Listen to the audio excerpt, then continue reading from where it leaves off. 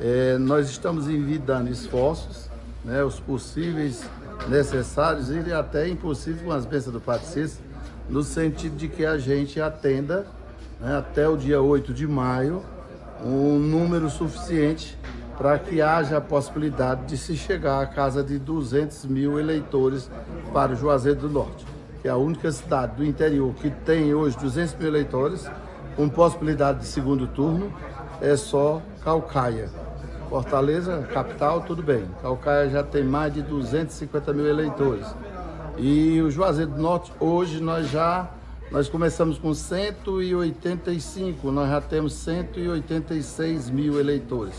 E a gente está acompanhando com nossa estatística e vamos incrementar o número de kits é, biométricos e o número de computadores o número de pessoas para atendimento. Contamos com a nossa equipe do, dos cartórios. São duas zonas eleitorais, dois juízes, dois promotores.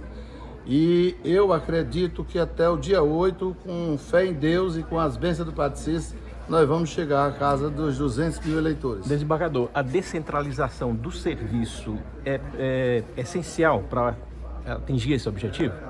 É essencial. A gente trabalha com um público muito interessante, muito importante foi mapeado pelo nosso setor de estatística que esse público-alvo que nós estamos buscando, ele reside justamente naqueles menores de 15 anos de idade, porque o menor de 15 anos, ele pode sim é, fazer o seu alistamento, desde que no dia da eleição ele tenha completado os 16 anos de idade.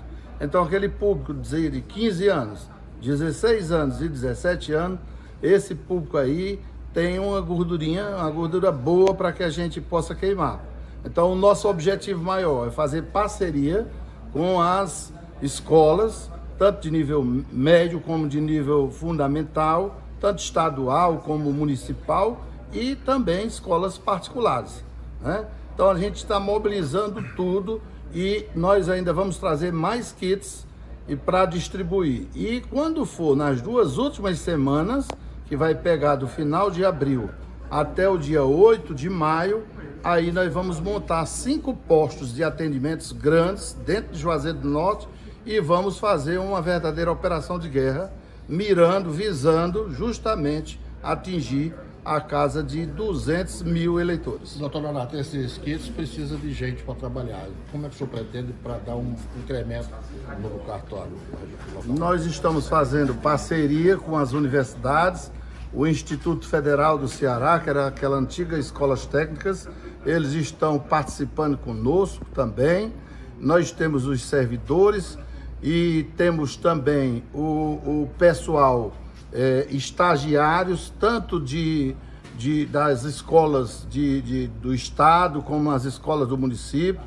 E também temos pessoas voluntárias e temos contratação, que temos verba do TSE para fazer a contratação de terceirizados que entendam e a gente dá o treinamento e de sorte que esse número, esse número de atendimento, ele vai estar com pessoas qualificadas que nós vamos treinar e com um número de kits suficiente para atender a toda a comunidade de Juazeiro do Norte. Como é que está a estrutura hoje aqui do carteiro eleitoral nesse trabalho para que a população possa emitir ou resolver o seu problema com relação ao kit?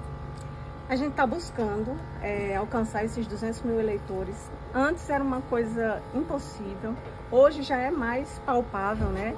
Por enquanto, o que está sendo um embaraço maior é a questão de conseguir pessoal humano, né? Para operacionalizar os kits que a gente tem recebido do TRE. O nosso presidente, desembargador Raimundo Nonato, ele sonha alto, ele sonha com essa possibilidade dos, dos, dos 200 mil eleitores para a gente ter uma possibilidade de ter um segundo turno e a gente está com postos itinerantes nos bairros, né, por toda, procurando bairros mais distantes. É, posso dar um exemplo aqui no Campo Alegre, que a média de atendimento de, postos itinerantes era de 200 eleitores. E uma semana que a gente passou no, no Campo Alegre, a gente conseguiu 870. E hoje a gente está com dois postos fixos, que é importante que haja essa, essa divulgação, um shopping ali na comodidade, por enquanto a gente está tá funcionando só de 10 às 16 horas, mas depois a gente vai estender o horário mais próximo para ficar também à noite.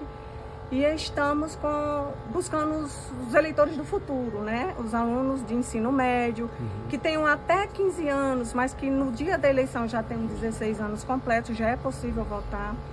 E tentando, e vai haver também palestras nos, nos colégios, né, para falar sobre a importância do voto, uhum. sobre a sua participação nesse pleito eleitoral, de você poder escolher seus representantes mais, mais ali, a eleição de, de município, você, tá, você conhece seus candidatos, você conhece o vereador, você conhece o prefeito, você conhece a vida dele, sabe até a questão de ficha eleitoral dele. Então é uma eleição muito importante e deve haver a participação maciça, não só dos idosos, não só dos adolescentes, mas de todos. Então quem está com título eleitoral suspenso por algum motivo, seja por conta de que não votou nas últimas eleições ou porque não fez a biometria em 2013, venha para o cartório eleitoral, ou então diga qual é o bairro que está mais sensível, que a gente vai até vocês. Né? Eu, eu, eu costumo dizer que a gente está indo buscar o eleitor, botando no colo para resolver a situação dele. A senhora lembra mais ou menos quantas pessoas tem que não fizeram a biometria? Entre biometria e cancelados é um número bem próximo de 15 mil eleitores. E a gente tem buscado esses eleitores. Alguns a gente até se pensa, né? É, não fez a biometria, três eleições sem votar, ou mudou de residência, ou então até uma questão de óbito ainda não informado. A né? senhora não pensa que, por exemplo, até mesmo o desestímulo do eleitor, muitas vezes não querer votar por razões de aversão mesmo à própria política, né, ao modo de resolução, a senhora não acredita que isso também deveria ser levado em consideração para tantos eleitores não realizarem o cadastro ou a realização da biometria? Pois é, esse, é, infelizmente, essa sensação de comodismo, de que não vou lá porque não resolve nada, é que tem feito a gente não poder escolher os nossos verdadeiros candidatos. Escolher é difícil, então as pessoas preferem não escolher para poder, se não der certo, dizer ainda bem que eu nem votei e não foi meu candidato. Uhum. Mas se você não votar, se você não escolher, você não tem a possibilidade de mudar de mudar e de cobrar, que é importante, e de cobrar. porque quando eu voto eu cobro, né, doutora? Isso, isso, né? E, e, um voto consciente, né? Não ser um voto trocado, porque se você troca seu voto, você não pode perde o direito de cobrar, né? Hoje a senhora tem uma base assim de quantos votos, mais, aliás, quantos títulos mais ou menos, uma média semanal para chegar de repente esse segundo turno? É muito variável. Por exemplo, tem semana que a gente consegue mil títulos, tem outra semana que está ali em torno de 600. Então, não dá para ter uma perspectiva. Mas ali seria uma média de 500, 500 títulos por semana que se a gente está buscando. número aí dá para chegar a 200 mil?